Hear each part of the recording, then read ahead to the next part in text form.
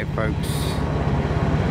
Like, comment, and subscribe. I'll see y'all in the next video. Color 608 out.